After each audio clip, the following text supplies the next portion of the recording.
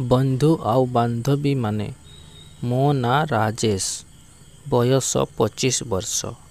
ଆଜି ମୋ ସହିତ ଘଟିଥିବା ଏକ ସତ ଘଟଣା ଏଇ କାହାଣୀ ମାଧ୍ୟମରେ କହିବାକୁ ଯାଉଛି। ଘଟଣାଟି ଯେତେବେଳେ ଘଟିଥିଲା, ସେତେବେଳେ ମୋର ବୟସ ଉଣେଇଶ ବର୍ଷ ଥିଲା। ସେତେବେଳେ ମୁଁ ବହୁତ ପତଳା ଥିଲି। କାହା ସହିତ ବେଶୀ କଥାବାର୍ତ୍ତା କରୁ ନ ଥିଲି। ମୁଁ ସେତେବେଳେ କିଛି କଥାକୁ ସହଜରେ ବୁଝି ପାରୁ ନ ଥିଲି। ମୁଁ ଯୁକ୍ତ ଦୁଇରେ ପାଠ ପଢୁଥିଲି। ଏ ସବୁ ବିଷୟରେ ଅଳ୍ପ ଅଳ୍ପ ଜାଣିଥିଲି ମାତ୍ର। ବେଳେ ବେଳେ ମୋର ଇଚ୍ଛା ହେଲେ ମେସିନକୁ ଚଲେଇକି ପାଣି ବାହାର କରିଦେଉଥାଏ। ଅସଲି ଖେଳର ମଜା କେବେ ନେଇ ନ ଥିଲି। ଖାଲି ମୋବାଇଲରେ ସାଙ୍ଗମାନଙ୍କଠାରୁ ଦେଖିଥିଲି। ମୋର ଦିଦିର କ୍ଲାସମେଟ୍ ପ୍ରୀତି ଆମ କଲୋନୀରେ ରହୁଥିଲା। ସିଏ ବେଳେ ବେଳେ ଆମ ଘରକୁ ଆସୁଥିଲା। ତେଣୁ ତା ସହିତ ମୋର ଭଲସେ କଥାବାର୍ତ୍ତା ହୁଏ। ପ୍ରୀତିର ବୟସ କୋଡ଼ିଏ ବର୍ଷ ପାଖାପାଖି ହେବ। ଦେଖିବାକୁ ଭାରି ସୁନ୍ଦରୀ। ତାର ଫୁଲଯୋଡ଼ିକ ବହୁତ ବଡ଼ ବଡ଼। ତାକୁ ଯିଏ ବି ଦେଖିବ ଆଖି ଫେରେଇ ପାରିବନି। ମୁଁ ବି ଥରେ ଥରେ ତା ଘରକୁ ଯିବା ଆସିବା କରୁଥିଲି। ସିଏ ମୋତେ ଛୋଟ ଭାଇ କହିକି ଡାକେ। ମୁଁ ବି ଆଗରୁ ତାକୁ ଦିଦି ବୋଲି ଭାବୁଥିଲି। ଧୀରେ ଧୀରେ ମୋର ତା ପ୍ରତି ନଜର ବଦଳିବାକୁ ଲାଗିଲା। ତା କଥା ଭାବିକି ବହୁତ ଥର ମୁଁ ପାଣି ବାହାର କରିଛି। ଗୋଟିଏ ଦିନ ମୁଁ ଘର ଅଗଣାରେ ଛିଡ଼ା ହୋଇଥିଲି। ଏତିକିବେଳେ ପ୍ରୀତି ଦିଦି ମୋତେ ତା ଘରକୁ ଡାକିଲା। ମୁଁ ଗଲା ପରେ ସିଏ ମୋତେ କହିଲା, ଆଜି ମୁଁ ଘରେ ଏକେଲା ଅଛି। ମୁଁ କହିଲି, ଦାଦା ଖୁଡ଼ୀ କୁଆଡ଼େ ଯାଇଛନ୍ତି କି? ସିଏ କହିଲା, ସେମାନେ ମାମୁଁ ଘରକୁ ଯାଇଛନ୍ତି। ମାମୁଁଙ୍କର ବାହାଘର ହେବ। ତୁ ଆସେ, ଆମେ ବସିକି ତାସ ଖେଳିବା। ମୋତେ ବି ତା ସହିତ ତାସ ଖେଳିବାକୁ ଭଲ ଲାଗେ। କାହିଁକି ନା, ସିଏ ଯେତେବେଳେ ନଇଁପଡ଼େ, ସେତେବେଳେ ତାର ବେଲୁନକୁ ଦେଖିକି ମୋତେ ଭାରି ଭଲ ଲାଗେ। ମୁଁ କହିଲି ଠିକ୍ ଅଛି, ଦଶ ମିନିଟ୍ ପରେ ଆସୁଛି। ଆସିକି ଘରେ ମୋ ବୋଉକୁ କହିକି ପୁଣି ଚାଲିଗଲି ପ୍ରୀତି ଘରକୁ। ଦେଖିଲି ପ୍ରୀତି ତାର କପଡ଼ା ବଦଳ କରୁଥିଲା। ମୁଁ ଯାଇକି ତାର ଖଟ ଉପରେ ବସିଲି। ତାପରେ ସିଏ ତାସ ଆଣିଲା। ଆମେ ବସିକି ବେଶ୍ ତାସର ମଜା ନେଉଥିଲୁ। ସିଏ ଗୋଟିଏ ଫ୍ରକ୍ ପିନ୍ଧିକି ବସିଥିଲା। ତେଣୁ ତାର ଜଙ୍ଘ ପର୍ଯ୍ୟନ୍ତ ପୂରା ଦେଖାଯାଉଥିଲା। ମୁଁ ଦେଖୁଛି ବୋଲି ବୋଧେ ସିଏ ଜାଣିପାରିଲା। ତେଣୁ ସିଏ ତାର ଫ୍ରକକୁ ଢାଙ୍କିବାକୁ ଚେଷ୍ଟା କରୁଥିଲା। ପୁଣି ଆମେ ଖେଳରେ ମାତିଗଲୁ। ଖେଳ ମଝିରେ ମଝିରେ ଆମେ ହସ ମଜା ବି କରୁଥିଲୁ। ଏତିକିବେଳେ ପ୍ରୀତି କହିଲା, ବସି ବସି ମୋର ପାଦ ଲାଗିଗଲାଣି।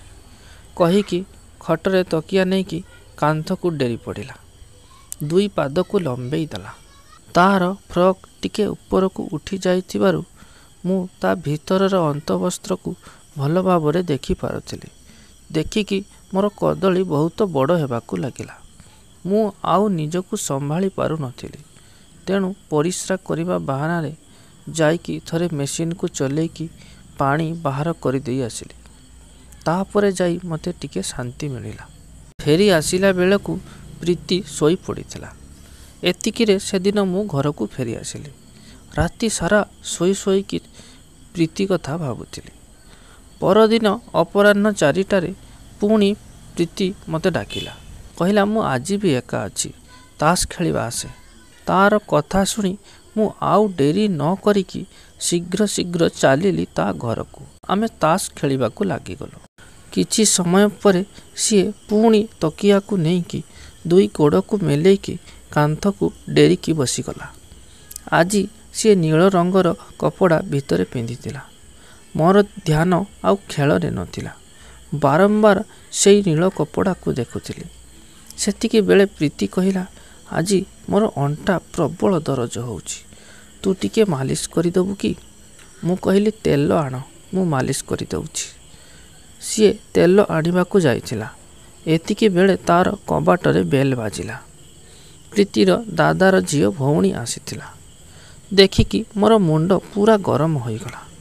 ଆଜି ବି ମୋତେ ସୁଯୋଗ ହାତଛଡ଼ା କରିବାକୁ ପଡ଼ିବ, ଭାବିକି ମୋର ମନ ପୂରା ଦୁଃଖ ହୋଇଗଲା।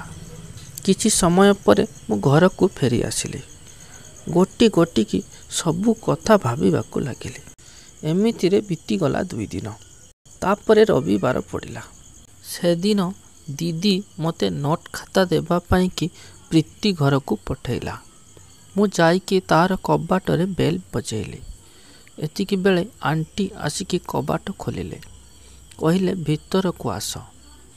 ଭିତରେ ପ୍ରୀତି ଅଛି।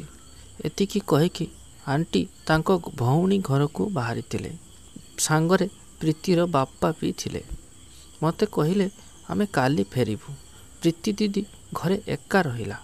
ତୁ ଟିକେ ଆମ ଘରେ ଆଜି ରହିବୁ। ମୋତେ ଦେଖିକି ପ୍ରୀତି ପୂରା ଖୁସି ହୋଇଗଲା। କାରଣ ଏବେ ମଧ୍ୟ ପ୍ରୀତି ଏକେଲା ଥିଲା। ସିଏ ପୁଣି ତାସ୍ ବାହାର କଲା। କହିଲା ଖେଳିବା ଆସେ। ମନେ ମନେ ମୁଁ ଭାବି ନେଇଥିଲି ଯେ ଯେମିତି ବି ହଉ ଆଜି ପ୍ରୀତି ସହିତ ଖେଳିକି ଯିବି। କିଛି ସମୟ ପର୍ଯ୍ୟନ୍ତ ତାସ୍ ଖେଳିବା ପରେ ପ୍ରୀତି ପୂର୍ବ ଭଳି ଦୁଇ ପାଦକୁ ମେଲେଇକି ବସି ଖେଳୁଥିଲା। ସିଏ ଭିତରେ ଗୋଲାପି ରଙ୍ଗର କପଡ଼ା ପିନ୍ଧିଥିଲା। ବାରମ୍ବାର ମୁଁ ସେଇଠି ନଜର କରୁଥିଲି। ପ୍ରୀତି କହିଲା ଆଜି ମୋର ଅଣ୍ଟା ପ୍ରବଳ ଦରଜ ହେଉଛି।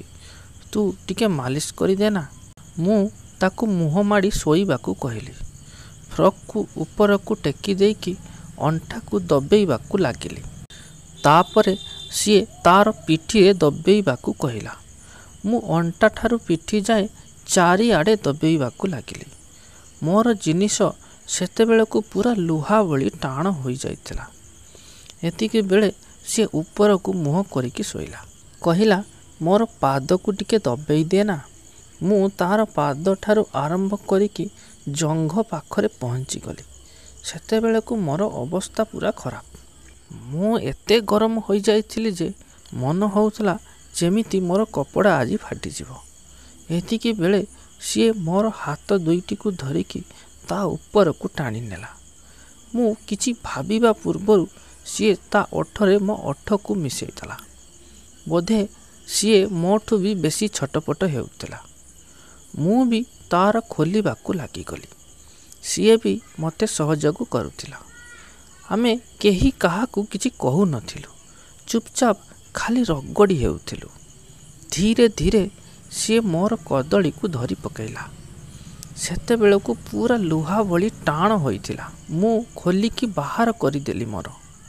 ତା' ସହିତ ତା'ର ବି ଖୋଲିଦେଲି। ଆମର ଆଉ କିଛି ଆବରଣ ନଥିଲା। ଆମେ ସବୁ କିଛି ଦେଖୁଥିଲୁ ଆଖିରେ। ଯୋଉ ଜିନିଷ ପାଇଁକି ମୁଁ ସବୁବେଳେ ଛଟପଟ ଆଜି ଆଖି ସାମ୍ନାରେ ତାକୁ ଦେଖୁଥିଲି। କଣାରେ ଆଙ୍ଗୁଠିକୁ ନେଇକି ଥରେ ପୂରେଇଦେଲି। ଦେଖିଲା ବେଳକୁ ସେଠି ପୂରା ଭିଜି ଯାଇଛି। ସିଏ ବି ମୋରଟିକୁ ହାତରେ ଧରିକି ହଲଉଥିଲା।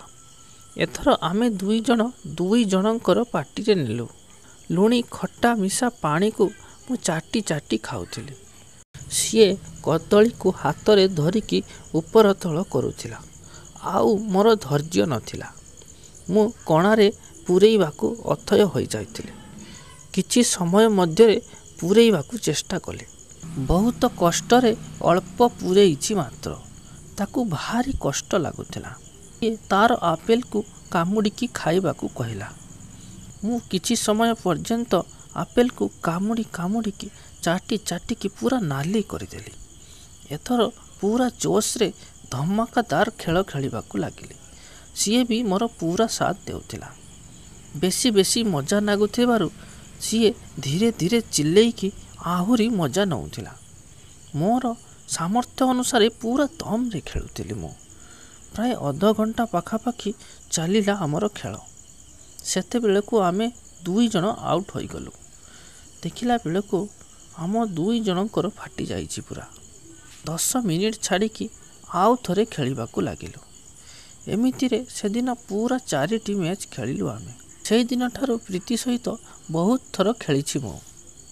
ଇଆରି ଭିତରେ ସିଏ ମୋତେ ବହୁତ ଭଲ ପାଇବସିଛି। ଦୁଇ ବର୍ଷ ପରେ ଯେତେବେଳେ ତା'ର ବାହାଘର ପାଇଁକି ତାକୁ ଦେଖିବାକୁ ଆସିଲେ ସିଏ ସମସ୍ତଙ୍କ ସାମ୍ନାରେ କହିଦେଲା ଯେ ଯଦି ବାହା ହେବ ତ କେବଳ ରାଜେଶକୁ ହିଁ ହେବ। ଏଇ ଘଟଣା ପରେ ଆମର ସବୁ କଥା ପଦାରେ ପଡ଼ିଗଲା। ବରଘର ଲୋକ ଫେରିଗଲେ। ଯଦିଓ ସିଏ ମୋଠାରୁ ଗୋଟିଏ ବର୍ଷର ବଡ଼।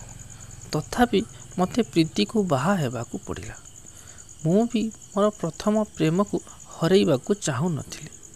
ଏବେ କିନ୍ତୁ ମୁଁ ବେଶ୍ ଖୁସିରେ ଅଛି। ସାଙ୍ଗମାନେ କାହାଣୀଟି ଆଜି ପାଇଁ ଏତିକି।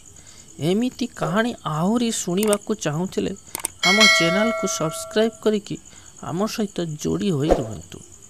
ରହୁଛି ପୁଣି ଦେଖା ହେବ ଆଉ ଏକ ନୂଆ କାହାଣୀ ସହିତ। ସେତେବେଳ ଯାଏ ବିଦାୟ ଦିଅନ୍ତୁ।